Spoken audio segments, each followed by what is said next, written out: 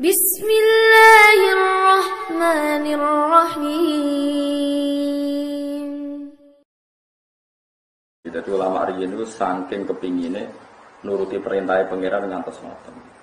Karena Nabi nak ngendikan jadi diulang-ulang dari yang standar ideal kayak tadi. Sing imami ku apike ya sing paling apik macamnya Quran. Nak bodoh ya sing paling pinter fikih. Nak bodoh ya paling sepuh. Nak podo ngene-ngene. Tapi Nabi ya nanti ngendikan wis ke makmum sapa asal sing tau ngendikan la ilaha illallah. Mane kula niku sebagai kiai ben go contoh kula niku salat sering makmum. Kok yo kelompok tertentu mau makmum mbek wong li liya. Iku kan kebablasan. Kok salate wong liya resah. Udah dine sombong, wong bayangno ideal malah dadine napa? Sombong.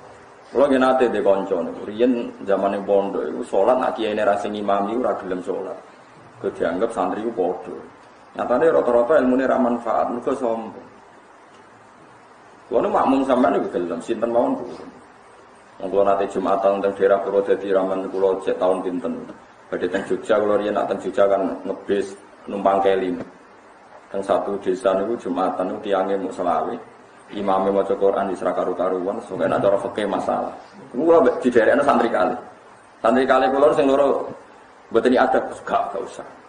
Ya ada barang aneh-aneh. Di cara madzhab Imam Syafi'i itu nak mboten 40 rasa. Wis intikal madzhab subhanallah ilmu ku sakeh gak masalah. Mergo tak pikir sederhana seperti itu. Imame kula tangkleti Mbah Jumatan wong 16 ya alasannya masuk akal. Yang meriki ini buatan purun sholat duhur. Wong Jumat Jumat kok sholat duhur. Jumat Jumat dia Jumatan ya biar saja. Nah cara pakai Syafi'i kan kalau jumlah itu tidak 40 maka harus sholat duhur karena Jumatan minimal syaratnya 40. Tapi mau praktekno ya kangelan. Wong kepingin di Jumatan, sudah Jumat kok sholat. Makanya kita harus pakai kaidah malah hidrokupulu, lah hidrokupulu anggap baik pemanasan. Paham ya? Anggap baik apa? Toh kita iso ngekei solusi intikal mat. Jadi itu cara madzhab Imam Malik Jumatan itu pokoknya sing keceluk jampun, jampun itu kelompok, cek rolas, cek 14 pokoknya wis jampun. Jampun itu kelompok.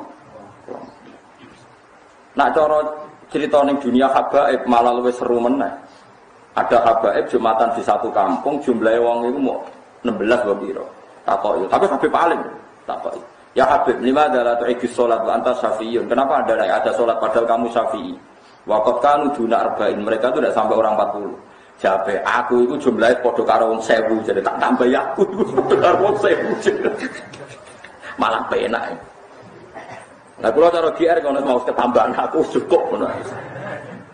Tidak apa-apa seperti itu. Tapi orang krono kita arogansi fikir tidak mengaturannya seperti itu. Malah hidrokukulu, lah hidrokukulu. Kue wani misalnya diwalik. Wong kene mau wong 16, wis rasa Jumatan. Salat zuhur wae. Terus kapan mereka membina satu komunitas sing nglakoni Jumatan? Kalau di konco jenenge Samsul ini tentang pedalaman Kalimantan, riyen dari ilegal logging. Zaman riyen zaman pemerintahan Pak Harto. Mbok haram mbok. Mengaku polisi ra wajib ngukumi ilegal utawa ora ilegal. Pokoknya jelas marat dengan anti kerja ngoten ya. Itu dia di tengah hutan ya faktor marat dia juga gak ingin melawan pemerintah. Orang-orang kerja di tengah hutan itu kan gak niat melawan pemerintah kan, melawan kemiskinan sendiri. Ini udah kepentingan melawan, melawan tuh. Kadang kita ya berlebihan, oh, ngelawan negara. Orang dia niat nak ngelarat itu, niat itu kok ngelawan.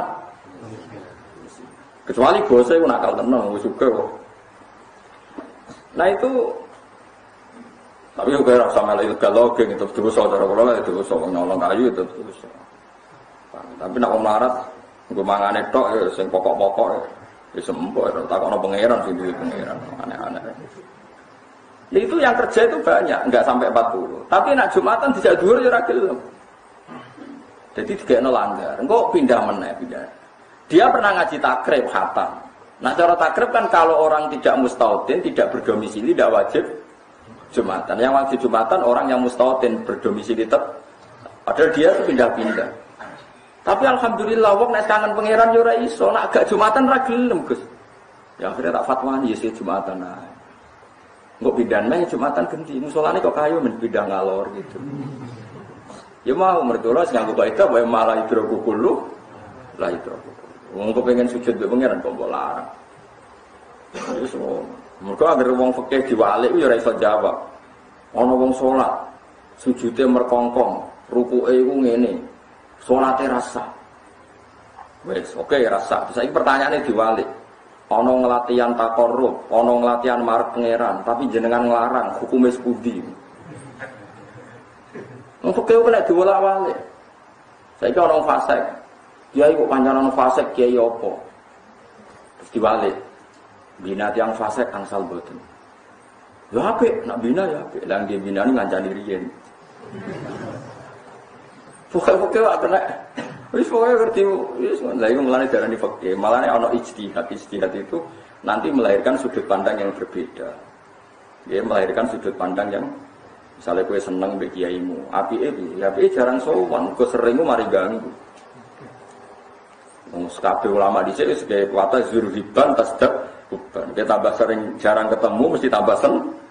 Nah ketemu terus mari dobo bosan. Misalnya kira bosan, dia imu sing bosan. ya seperti itu itu termasuk cara. Terus ada orang yang mengekspresikan seneng itu sering sowan. Nah, ono sing jarang sowan. Kalasan yang sering sowan sering ganggu. Berarti itu tidak baik. Jadi misalnya wong pacaran kan ya foto, SMS-an terus, berarti bukti seneng guling terus. Tapi nak diwalik, SMS-an terus berarti ganggu terus. Wong seneng kok. Ganggu. Kita ada itu oke. Oke itu seperti itu cara pandang. Malah nggak khilaf Abu Hanifah, Imam Malik itu agar diwolak walik itu terus mirip-mirip. Ya agar diwolak walik itu terus mirip-mirip.